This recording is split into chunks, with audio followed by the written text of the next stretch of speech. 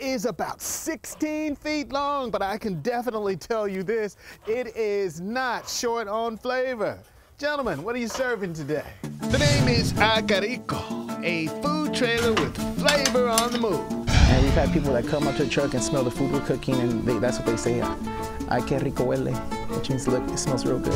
Rico Montelongo and his business partner, Mike Gutierrez, rolled out their goods in 2017. Rico, so confident in their pocket, he even quit his job. They specialize in a hint of barbecue products with mini tacos, quesadillas, and grilled cheese sandwiches.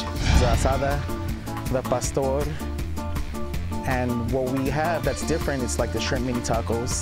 The brisket that we do smoke, we offer it in a mini taco form. Bring on that Neighborhood Eats taste test, starting with smoked barbacoa mini taco. That smoked flavor, brother, is every freaking thing. Oh yeah, that's uh, That's every freaking thing. that's all. That's all our pitmaster Mike. This dish here, with the little smoke on it, Yeah.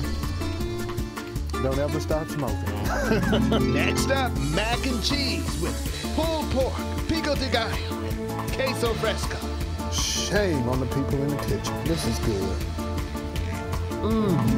Oh, wait, they tried to me with shrimp grilled cheese sandwich.